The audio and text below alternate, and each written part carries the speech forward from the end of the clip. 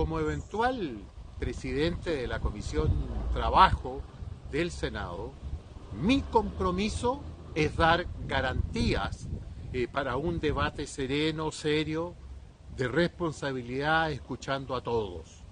Pero el gobierno debe presentar un mejor proyecto, sin improvisaciones y ofertones de última hora que mantienen el proyecto en las mismas condiciones. Es un proyecto malo para el chileno, porque el manotazo a los ahorros que intentó el gobierno terminó en una gran derrota para ellos y especialmente para el Partido Comunista.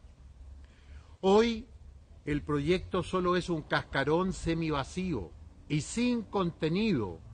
Como oposición, nosotros vamos a defender lo actuado con conciencia y con valentía por nuestros diputados de oposición en el Congreso.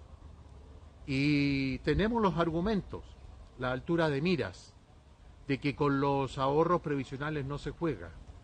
Y tiene que asegurar el gobierno el financiamiento de la PGU, no con reformas tributarias encubiertas.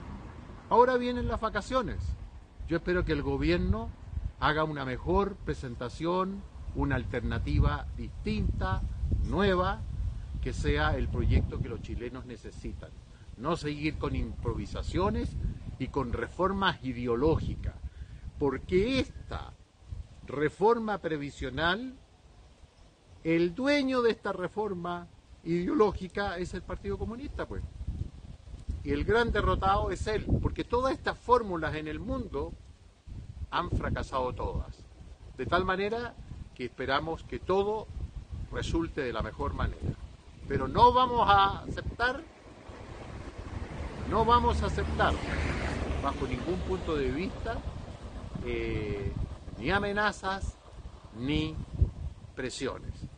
Vamos a hacer el trabajo que